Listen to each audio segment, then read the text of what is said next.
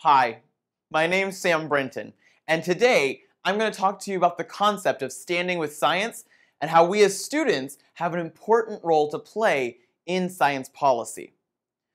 Now, my background in this is that I helped found and lead an organization called Stand with Science, which connects graduate students and other students from across the world to advocate for federal science and research funding. I also, with that organization, helped spawn the National Science Policy Group. The National Science Policy Group connects these graduate students and students to have conversations on their own campus about science policy, both in terms of advocacy, in terms of education, and in terms of solutions. But before I get to those organizations, I wanted to explain why it's important that we actually do science policy. Where do the students fit in? And where do I fit in? You see, I'm a nuclear engineer. And as a nuclear engineer, we get the same types of questions over and over and over again. Why are you creating nuclear waste? And why are you trying to destroy the world with nuclear weapons? And what about Fukushima? Those are great questions. And they're not simple answers. But science policy helps us by creating spaces to have the conversation where a challenge and a solution meet. You see, as a scientist, I can bring forward a possible technical solution. And if the policy and I work together, we can make the solution actually applicable. Policy also has the really important space of taking a national interest and moving it forward. So for example, when we fund science, we can help future solutions be possible. The hard conversations of nuclear engineering are what got me into science policy. Now, you may have other great challenges that you are invested in. Those are why you should be involved in this conversation. And those are why the organizations that I'm going to talk about actually exist. When I got to MIT, I helped with an organization called the Science Policy Initiative, the MIT Science Policy Initiative. Now, SPI was a great group. I got to um, involve myself in a lot of conversations that I didn't understand that well. For example, when we started talking about GMOs, I'm not really great at GMOs. I'm more a neutronics kind of guy. But at least I could learn where my science would actually impact their policy. And I could learn how to have a conversation with people that didn't study the same things as I did. When I led a conversation on nuclear waste, they weren't all experts on nuclear waste, but we were able to discuss how biology was actually impacting nuclear waste. Where is the radiation science currently standing? And we also got to talk about what the different United States government policies related to different technologies actually impacted us. And that was a great, great space to, to learn about all these different types of science and all these different types of conversations. And that's where I started to figure out that the government was heavily involved in all of the science that I was doing. We started an organization called Stand With Science there at MIT SPI for one very specific reason. There was this thing called sequestration that was just off on the horizon, and we didn't know if it was actually going to happen.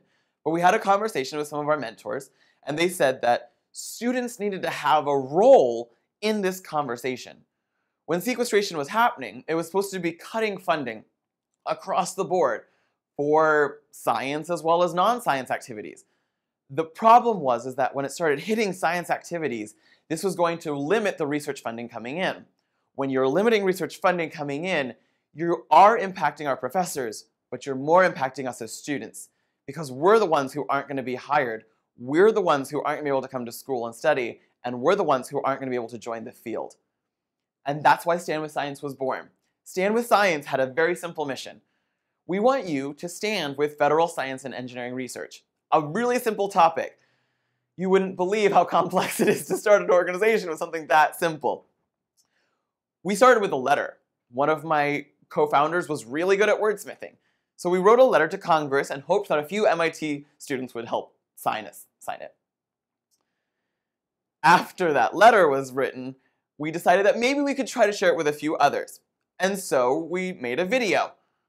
A great video, which I hope you'll check out online, that started to share why science was important and why we as students cared about our science. We got to tell really small blurbs about what we were working on. We got to share why we cared. And my role in all of this started to come with the publicity and the social media. I like to be out there. I like to really get the message across. So my passion was taking this letter and this video and making sure everyone in the entire country could hear about it. And it worked really, really well. After 10,000 signatures, all natural, all coming from word of mouth, we had made an impact. When we visited Congress, they were impressed that students, especially graduate students, who were very busy trying to graduate with our thesis writing, had taken the time to work on a project like this. And it, it didn't work in stopping sequestration, but it did work in bringing our voices forward. And that was what mattered. The National Science Policy Group was formed after Stand with Science. And this is taking my passion for the role of students in science policy beyond just advocacy. You see, as a graduate student, I was lucky. I came to MIT and there was a science policy group for me to start studying with. But not every student is as lucky. For some of my fellow students back in Iowa, they didn't have a science policy group. And they started Facebooking me and emailing me and saying, Sam, how do we get one started on our campus? So we formed the National Science Policy Group, or the NSPG. And it helps brand new organiza organizations start their own little space. Let's have a lunch. Let's invite a professor. Let's write a letter. Let's do something to the editor. Let's do something to take science and policy, give them a little bit of a boost together, and see what happens. We also have professional groups and amazingly established groups like SPI who are able to connect with these small groups and help them grow and say, well, we had this challenge, so here's how you can fix it in the future. That's what NSPG is about. It's about taking the science policy and getting it across the country so that it's not only just the advocacy for our funding, but it's having the conversation. And that's where I'll leave you. You see, conversations with our congressional members are the most important way that we can have a role in science policy. This is an image of myself and my Senator Tom Harkin from Iowa. Now he remembers me well because of the red mohawk, but he also instantaneously knows that I'm probably going to start talking to him about something related to nuclear because that's what my passion is.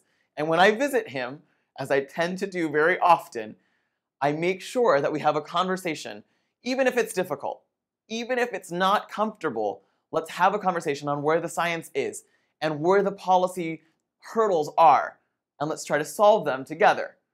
Now, he's an expert at policy, and I'm an expert at nuclear engineering. So together, we can make a really great solution. You have to keep the conversation going. You have to keep meeting with your congressional members. Write them an email, meet with their staffers, do what you can when they come to visit you back in your home state or all the way over there in DC. Do something to make sure that your voice is heard. It's your turn. Do you see something misunderstood or misrepresented, i.e., nuclear engineering? You need to be courageous, do your studies, and make sure that you can represent that challenge and some possible solutions to those around you. You also might see a community in need of collaboration and representation. Just create that system of collaboration. Connect those who have the experiences and those who don't, like the National Science Policy Group, so that everyone gets to stand up and gets to walk forward together. What about the making an impact on the importance of scientists and engineers and how we're involved in the processes of policy? That's simple. You do a conversation. Whether it's with your mother explaining what your thesis is, or whether it's with your teacher thanking them for the education they gave you and giving them a little boost by maybe visiting their classroom and telling them about the great science that you're working on. Or if it's with your congressional member and telling them that this is something that's important to you and to their constituents. By doing, by being courageous, by starting a system of collaboration, and by giving yourself a chance to have a conversation with those around you, you'll be able to have a great role in science policy, and I believe that you will make a great impact. Thank you for your time, and I really hope you have a great day.